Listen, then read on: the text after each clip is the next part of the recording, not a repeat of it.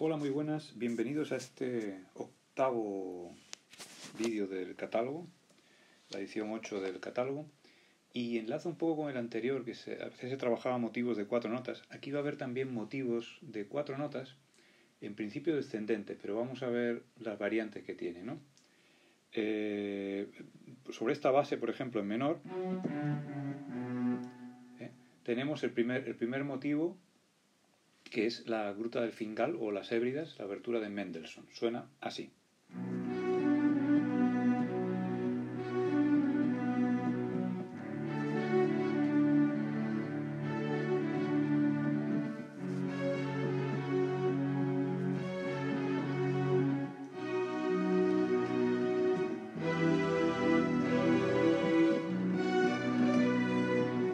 etcétera. El segundo ejemplo de este motivo de cuatro notas se encuentra en Tchaikovsky al comienzo del, del, primer, vamos, del primer concierto para piano de Tchaikovsky, que suena así.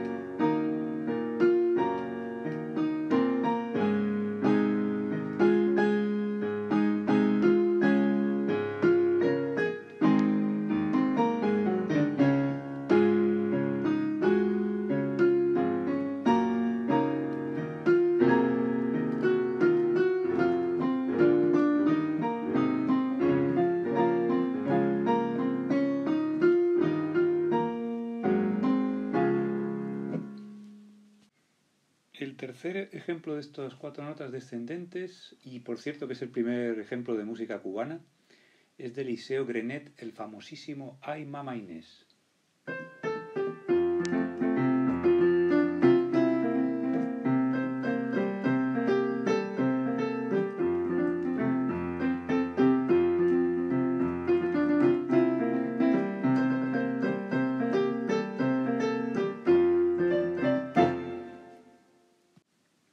Bueno, y ahora encontramos otra vez el mismo motivo en Peer de Grieg, la, la mañana, el comienzo de Peer Gynt.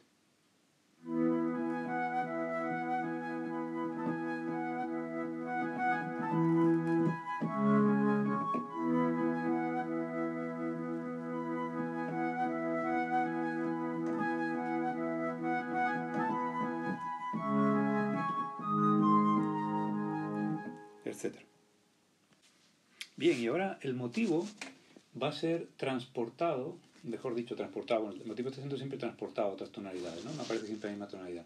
Pero una de las notas va a ser transportada octava baja. Vamos a explicarlo. El primer ejemplo de Beethoven. Tenemos un ejemplo de Beethoven, otro ejemplo de Mozart y otro ejemplo de Juan Solano Pedrero. Vamos a ver, el de Beethoven podría hacer así si, si imitase los anteriores.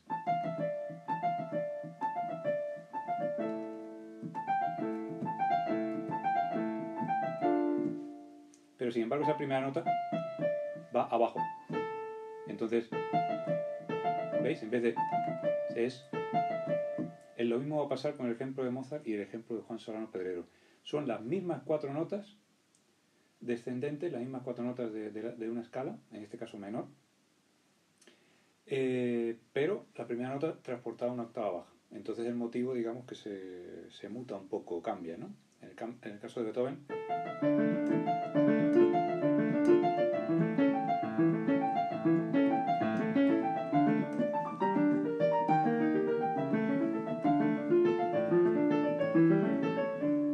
Este es el de Beethoven.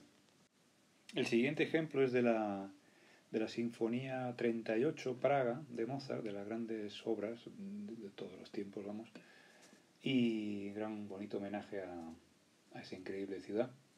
Y aquí está este motivo de nuevo, pero con esa peculiaridad que ya vimos en Beethoven. Igual que Beethoven era en menor, pues este tema va a ser, va a ser en, en mayor.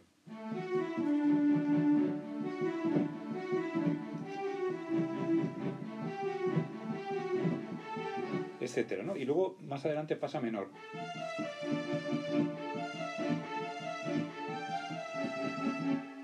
etcétera. En fin, la última melodía de este trío de melodías que empiezan con las mismas cuatro notas, vamos a decir, es de, ya dije antes, de Juan Solano Pedrero y es un tema muy conocido que hizo famoso el, el gran Manolo Escobar.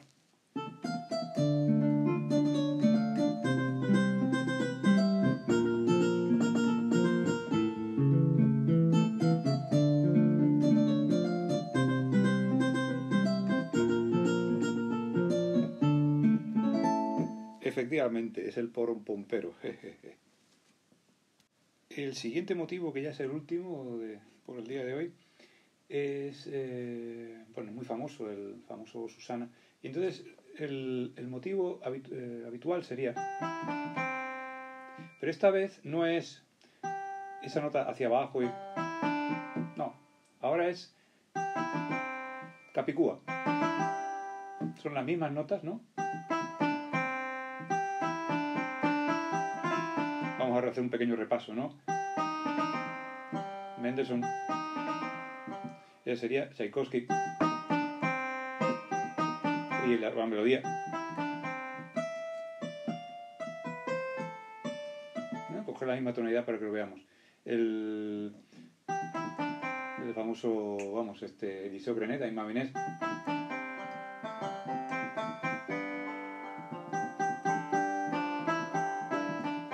Eh.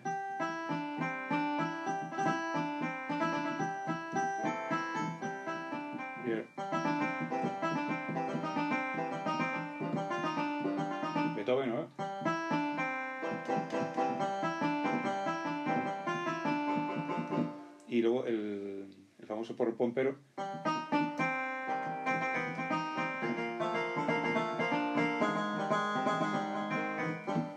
Y ahora en cambio es Ahora, en cambio, la melodía es la, la que sigue, el famoso Susana.